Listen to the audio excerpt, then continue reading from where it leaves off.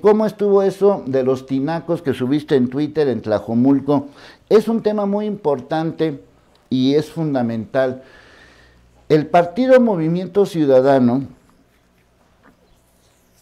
como, el, como todos los demás partidos, hace lo mismo que hacía el PRI o hace lo mismo que hacía el PAN. En el caso específico de Tlajomulco, el presidente municipal de Tlajomulco es un presidente que ya fue presidente, es decir, ya fue presidente municipal de Tlajomulco, es del equipo de Alfaro, es un empresario, tiene a su novia en la nómina y pues busca la reelección. Y estas imágenes que me llegaron y que están en el Twitter de Leo Schwebel para que las vean, de cómo están regalando despensas y tinacos, es exactamente lo mismo que hacía el PRI, que hacía el PAN, que hacía el PRD, que hacía todo el mundo. Miren, uno de los grandes problemas que existen en función de las leyes es justamente la aplicación de las leyes. Yo he puesto como ejemplo de que una cosa es que haya libertad y otra cosa es que yo pueda hacer lo que se me pegue la regalada gana sí, tenemos libertad, pero tenemos que cumplir ciertos ordenamientos y reglamentos. En cualquier forma de la vida. En la oficina no puedes ir de calzones, ¿verdad? En tu casa, pues no puedes hacer lo que se te pegue la regalada gana, aunque estás en tu casa. En la calle, pues no puedes ir caminando y tirando basura, ¿no? Eh, en el auto, pues no puedes ir en sentido contrario. Es decir, tenemos libertad, pero también tenemos la libertad, o sea, tenemos libertad, pero tenemos que cumplir una serie de reglamentos. En el caso de las autoridades electorales, si es que quieren cumplir con los reglamentos, que los cumplan parejo. Si a ti te piden una serie de requisitos para formalizar tu candidatura y esa serie de requisitos no se cumplen, con la amenaza de quitarte la candidatura, estoy de acuerdo. Pero de lo que no estoy de acuerdo es que esto no sea parejo. Esto que está evidenciado en un video, que lo pueden ver en el Twitter de Leo Schwebel, es completamente ilegal.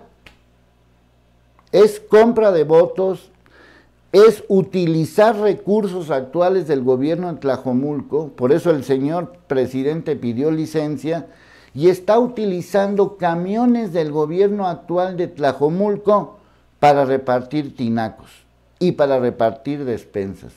Tercer, eh, violación a los reglamentos, a las leyes el Instituto Electoral, miren, para que lo entendamos, el Instituto Electoral no permitió, el de Jalisco, no el INE, el Instituto Electoral de Jalisco, no permitió que la candidata de Morena entrara a la contienda de este 6 de junio porque le faltó una firma. Es decir, en la solicitud que se hizo no, se, no la firmó. Está bien, así es el reglamento, ¿no? O sea, vea un cheque sin firma, pues no vale, ¿no? Un contrato sin firma, pues no vale. O sea, estoy de acuerdo. La señora o señorita, porque no sé, creo que es, eh, creo que no está casada porque es muy jovencita, la señorita o señora, como sea, no firmó la solicitud, por lo tanto, falló ante el reglamento. Y le quitaron la candidatura justamente, reglamentariamente y legalmente. ¿Por qué no le quitan la candidatura a Salvador Zamora que está regalando tinacos? Con este problema que tenemos ahorita en la zona metropolitana del agua, un tinaco de este tipo, que son los tinacos famosos estos de Rotoplas, y por lo que veo son tinacos grandes, pues no sé cuánto vale. Yo la otra vez pregunté y creo que valen por ahí de dos mil pesos o algo así, este tipo de tinacos. O sea, le estás regalando a la gente tinacos, despensas Pero deja tú eso. Eso es ilegal. Pero todavía más ilegal lo están haciendo con camiones del gobierno actual de Tlajomulco.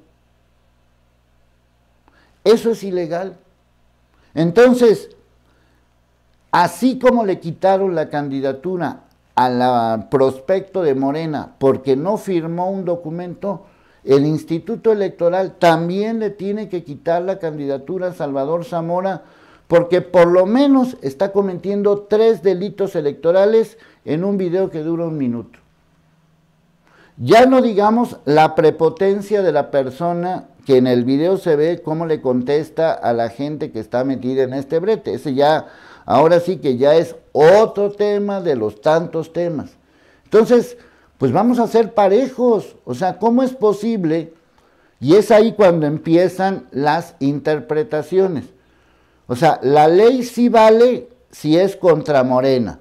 La ley no vale si es contra movimiento ciudadano. Entonces uno empieza a sospechar, y con justa razón, que el Instituto Electoral pues está, vamos a decir, al servicio del partido que está en el poder. Y el partido que está en el poder en Jalisco se llama Movimiento Ciudadano. ¿Por qué? Porque los eh, consejeros del Instituto Electoral los consejeros del Instituto Electoral, pues entonces son, eh, ¿cómo se dice? Em, fueron captados, fueron eh, aceptados en la época en que gobernaba el PAN y Movimiento Ciudadano. Ahí están los resultados.